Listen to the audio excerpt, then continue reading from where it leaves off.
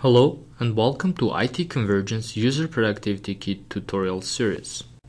This is the first part in how to edit bubble properties and will offer a demonstration of how to create and edit custom bubble text using the Frame Properties toolpane in the Oracle UPK Developer. The upper section of the Frame Properties toolpane in the UPK Developer allow the user to edit bubble properties including change the text that appears in the bubble Set text formatting such as bold, italics, and alignment. Select the position of the bubble pointer. Change the background color of the bubble.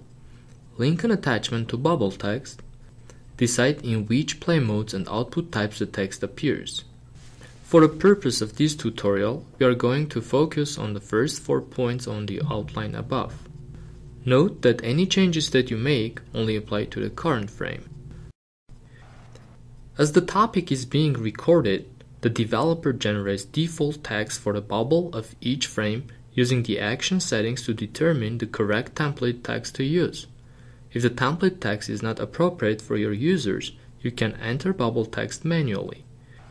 In the next few steps, we are going to go through how to enter and edit custom text.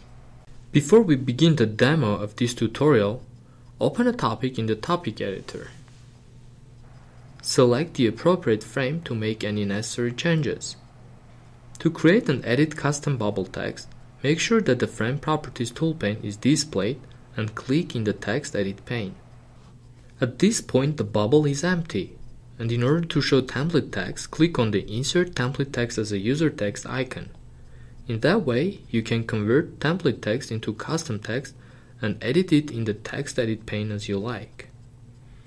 When you have entered the desired text, you can format your custom text as you like. In the Edit Text pane, there are icons that enable you to bold, italicize, underline, set alignment, and change the color of the text, as well as change the font of the custom text. To make any changes, select the text that you want to format in the Text Edit pane and apply the formatting as desired. The bubbles appear with the default shape and pointer location.